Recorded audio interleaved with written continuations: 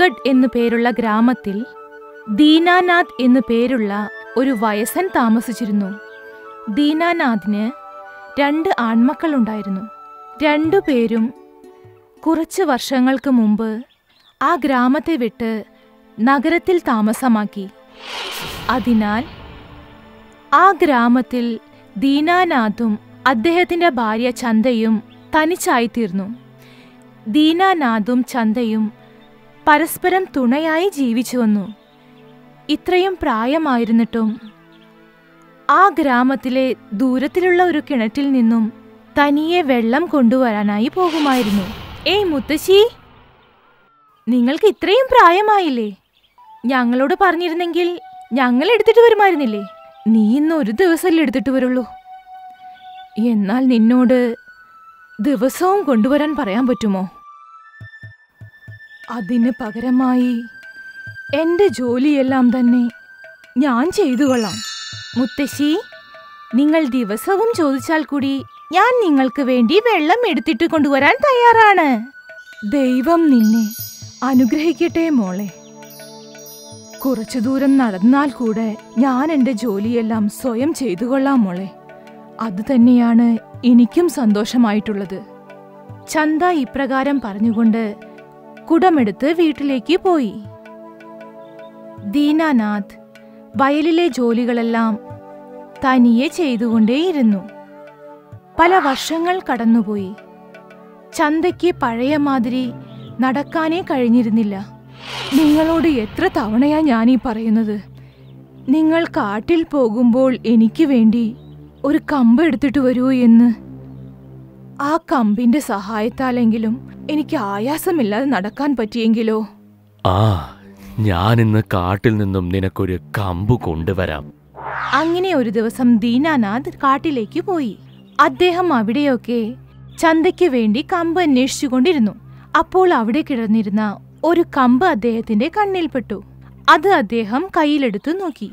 ഇത് ഇത് വേണ്ട ഇത് ഒരുപാട് വളഞ്ഞിരിക്കുകയാണ് പിന്നീട് ദീനാനാഥ് ഇതുവരെ അദ്ദേഹം ആ കാട്ടിൽ പോയിട്ടില്ലാത്ത ഒരു സ്ഥലത്തേക്ക് പോയി. ആ സ്ഥലം അദ്ദേഹം മുൻപ് കണ്ടിട്ടേയില്ലായിരുന്നു. ഇതേതാ സ്ഥലം? ഞാൻ ഇതുവരെ ഒരിക്കലും ഇവിടെ വന്നിട്ടില്ലല്ലോ. ആ ഇവിടെ കുറെ നല്ല പൂക്കളും ഉണ്ടല്ലോ. ദീനാനാഥ് ആ സ്ഥലം വളരെയധികം ആസ്വദിച്ചുകൊണ്ടിരുന്നു. അങ്ങനെ അദ്ദേഹത്തിന്റെ ദൃഷ്ടി ഒരു കമ്പിൽ ചെന്നുപെട്ടു. വേഗം ചെന്ന് അദ്ദേഹം ആ കമ്പെടുത്തു. ആഹാ കൊള്ളാമല്ലോ. ഇത് നല്ല ഒരു കമ്പ് തന്നെയാ. എന്നാ ശരി. ചന്ത പറഞ്ഞ കാര്യം തീർന്നു. ദീനാനാഥ് ആ കമ്പെടുത്തുകൊണ്ട് വീട്ടിലേക്ക് പോയി. വീട്ടിലെത്തിയ ശേഷം ദീനാനാഥ് താൻ കൊണ്ടുവന്ന കമ്പ് ചന്തയ്ക്കു നൽകി. ചന്ത ആ കമ്പ് സസൂക്ഷ്മം നിരീക്ഷിക്കാൻ തുടങ്ങി. അങ്ങനെ ചന്ത ആ കമ്പെടുത്ത് തറയിൽ മൂന്ന് തവണ തട്ടിയപ്പോൾ അപ്പോൾ ആ കമ്പ് അവിടെ നിന്നുയർന്ന് വായുവിൽ പറക്കാൻ തുടങ്ങി. ഇതെന്താ ഇത്? ആ എനിക്കറിയില്ല. അപ്പോൾ ആ കമ്പിൽ നിന്നും ഒരു മന്ത്രവാദി പുറത്തേക്ക് വന്നു. ഞാൻ ഈ മാന്ത്രിക വടിയുടെ അടിമയാണ്. നിങ്ങൾ ഈ കമ്പിനെ തറയിൽ മൂന്ന് തവണ അടിക്കുമ്പോൾ ഞാൻ നിങ്ങളുടെ മുമ്പിൽ വന്ന് എപ്പോഴും നിൽക്കും. എന്നിട്ട് നിങ്ങളുടെ എല്ലാ ആഗ്രഹങ്ങളും ഞാൻ പൂർത്തീകരിച്ചു തരും. അതെന്തായാലും നന്നായി. അങ്ങനെയെങ്കിൽ ഒരു ജോലി ചെയ്യൂ. പോകൂ. പോയി എനിക്ക് വേണ്ടി രണ്ടു കുടം വെള്ളം എടുത്തിട്ട് വരൂ. മന്ത്രവാദി ഉടനെ അവിടെ നിന്നും അപ്രത്യക്ഷനായി. കുറച്ചു സമയത്തിനുള്ളിൽ രണ്ടു കുടം വെള്ളവുമായി ആ മന്ത്രവാദി വീണ്ടും പ്രത്യക്ഷപ്പെട്ടു. അത്ഭുതം. എന്നാൽ നീ വേറെ ഒരു കാര്യം ചെയ്യേ. എന്റെ വീട്ടിന്റെ മുറ്റം ശരിയാക്ക്. ഉടനെ ആ മന്ത്രവാദി കുറച്ചു സമയത്തിനുള്ളിൽ ആ മുറ്റം മുഴുവൻ വൃത്തിയാക്കി. അവർ ആ കമ്പെടുത്ത് തട്ടുമ്പോഴൊക്കെ ആ മന്ത്രവാദി വന്ന് അവരെ സഹായിച്ചുകൊണ്ടിരുന്നു. അങ്ങനെ ദീനാനാഥിന്റെയും ചന്തയുടെയും ജീവിതം മുൻപത്തേക്കാൾ വളരെ സന്തോഷകരമായി തീർന്നു. കാരണം അവരെ സഹായിക്കാൻ ഇപ്പോൾ ഒരാളായി തീർന്നിരിക്കുന്നു. അവർ എന്ത് ആഗ്രഹിച്ചാലും അത് പെട്ടെന്ന് തന്നെ അവർക്ക് ലഭിക്കുമായിരുന്നു. ഇപ്പോൾ അവരുടെ വീട്ടിൽ നല്ല നല്ല ഭക്ഷണ സാധനങ്ങളും അവർക്ക് ആവശ്യമായ വസ്തുക്കളുമുണ്ട്. ഇപ്പോൾ അവർ വളരെ സന്തോഷവാന്മാരാണ്. എന്നാൽ അയൽവാസിയായ ബീക്കുവിന് ഇതെല്ലാം കണ്ട് വളരെയധികം അസൂയ മൂത്തു. ഈ വയസ്സായ കിളവനും കിളവിയുടെ കയ്യിലും ഇത്രയും പൈസ എവിടുന്നാ വന്നത്? ഇനി എന്ത് തന്നെ ആയാലും ഇന്ന് രാത്രി ഇവരുടെ വീട്ടിലുള്ള വിലമതിപ്പുള്ള സാധനങ്ങളെല്ലാം ഞാൻ ഞാൻ കക്കാൻ പോവാ. അന്ന് രാത്രിയിൽ ബീക്കു ദീനാനാഥിന്റെ വീട്ടിലെത്തി. അവിടെയുണ്ടായിരുന്ന എല്ലാ വിലപിടിപ്പുള്ള സാധനങ്ങളും അവൻ സഞ്ചിയിലാക്കി. അന്നേരം ഉറക്കത്തിലായിരുന്ന ചന്ത എന്തോ ശബ്ദം കേട്ട് കണ്ണു തുറന്നു. ഉടനെ അവർ എഴുന്നേറ്റ് നോക്കി. പെട്ടെന്ന് തന്നെ ചന്ത തന്റെ കമ്പെടുത്ത് മൂന്ന് തവണ തട്ടി. അപ്പോൾ ആ മന്ത്രവാദി അതിൽ നിന്നും പുറത്തേക്ക് വന്നു. ആ കള്ളനെ നീ ചെന്ന് ഒരു പാഠം പഠിപ്പിക്കൂ. ഉടനെ ചന്തയുടെ കയ്യിലുണ്ടായിരുന്ന ആ കമ്പ് വായുവിൽ പറക്കാൻ തുടങ്ങി. ഉടനെ ആ കമ്പ് പോയി ആ ബീക്കുവിനെ അടിക്കാനും തുടങ്ങി. ആ എന്നെ രക്ഷിക്കൂ. എന്നെ രക്ഷിക്കൂ. എന്നെ രക്ഷിക്കൂ. എന്നാൽ ആ കമ്പ് നിർത്താതെ ബീക്കുവിനെ തലങ്ങും വിലങ്ങും അടിക്കാൻ തുടങ്ങി. ആ കമ്പ് അവനെ വിടാതെ പിന്തുടർന്ന് അടിച്ചതുകൊണ്ട് ഭയന്നോടിയ ബീക്കു ആ ഗ്രാമം വിട്ടു തന്നെ പുറത്തേക്ക് പോയി. രക്ഷിക്കൂ. ആരെങ്കിലും എന്നെ ഈ കമ്പിൽ നിന്നും രക്ഷിക്കൂ. ഇതെല്ലാം കണ്ട് ദീനാനാഥും ചന്തയും ചിരിച്ചുകൊണ്ടേയിരുന്നു. ഇതിൽ നിന്നും നമ്മൾ മനസ്സിലാക്കേണ്ടത് ആരാണോ തുണയില്ലാതെ ജീവിക്കുന്നത് അവർക്കെപ്പോഴും ഈശ്വരൻ തുണയായിട്ടുണ്ടാകും. ആ കമ്പ് ദീനാനാഥിനെയും ചന്തയെയും സഹായിക്കാൻ ദൈവം നൽകിയ ഒരു വരമായിരുന്നു.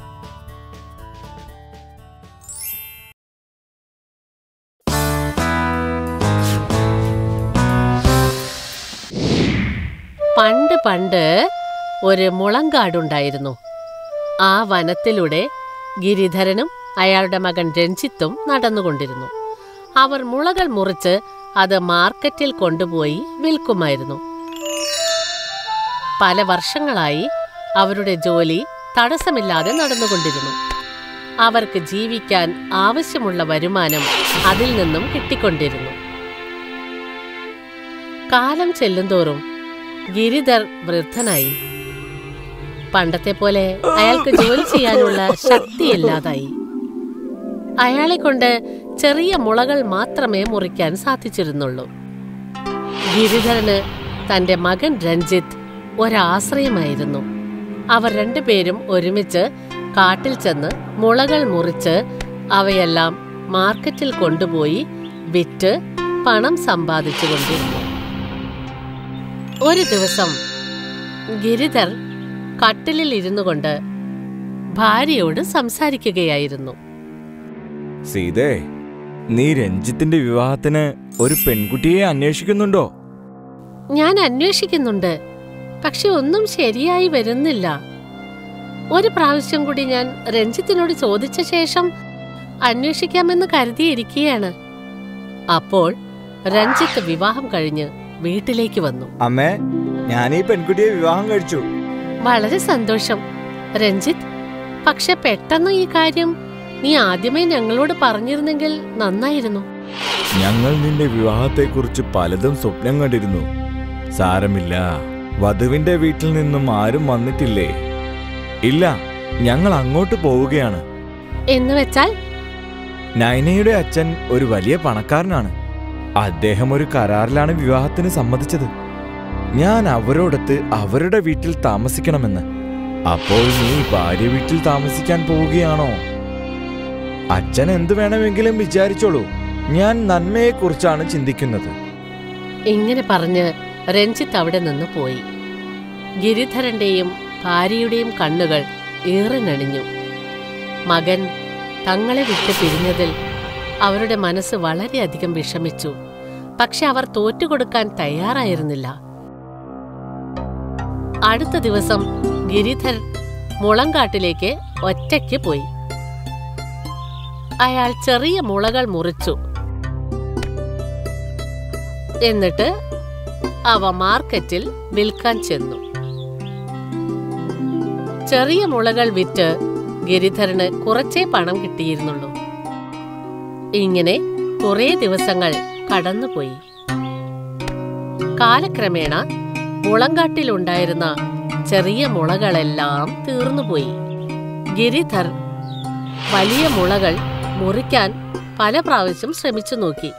പക്ഷേ യാതൊരു ഫലവും ഉണ്ടായില്ല. വലിയ മുളകൾ മുറിക്കാനുള്ള ശക്തി അയാൾക്കില്ലായിരുന്നു. ഗിരിധർ നിരാശയോടെ തന്റെ വീട്ടിലേക്ക് തിരിച്ചുപോയി. അയാൾ സീതയോട് കാര്യം പറഞ്ഞു.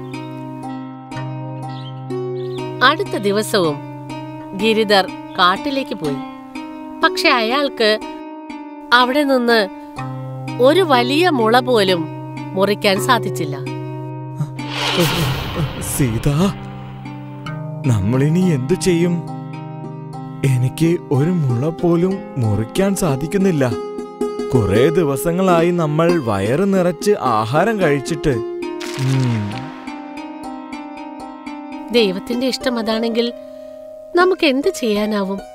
ഇങ്ങനെ വിശന്ന് വലഞ്ഞ് മരിക്കുന്നതിനേക്കാൾ നല്ലത് ഭൂതത്തിന്റെ കയ്യിൽ പെട്ട് തുടിച്ച് തുടിച്ച് മരിക്കുന്നതായിരിക്കും.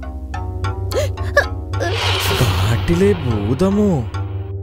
രാത്രി സീത നന്നായി ഉറങ്ങിയ ശേഷം ഗിരിധർ കാട്ടിലേക്ക് പോകാൻ പുറപ്പെട്ടു. അയാൾ കാട്ടിലെത്തിയ ശേഷം ഉറക്കെ പറഞ്ഞു. ഹേ കാട്ടിലെ ഭൂതമേ നീ വാസ്തവമായിട്ടും ഇവിടെ ഉണ്ടെങ്കിൽ പുറത്തേക്ക് വന്ന് എന്നെ നിന്റെ ഭക്ഷണമായി കഴിക്കേ.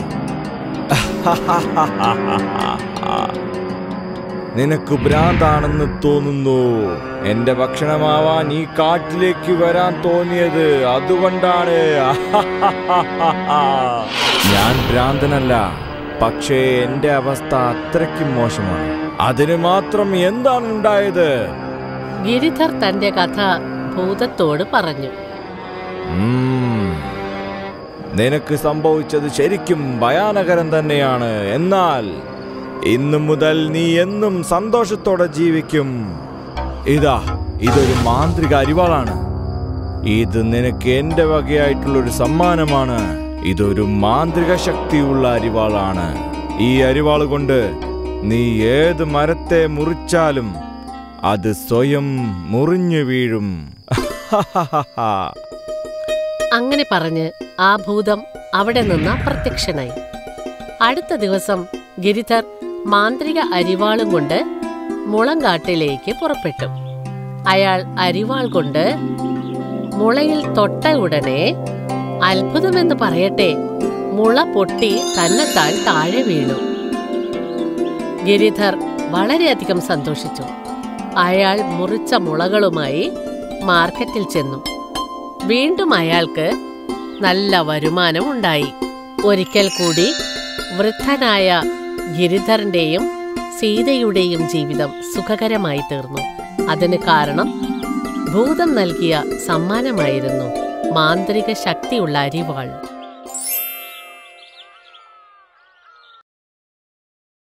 ഞാൻ ഷൈനി. നിങ്ങൾക്ക് ഈ കഥ ഇഷ്ടപ്പെട്ടെങ്കിൽ തീർച്ചയായും ഷെയർ ചെയ്യണം. കൂട്ടുകാരോട് പറയാനും സബ്സ്ക്രൈബ് ചെയ്യാനും മറക്കല്ലേ?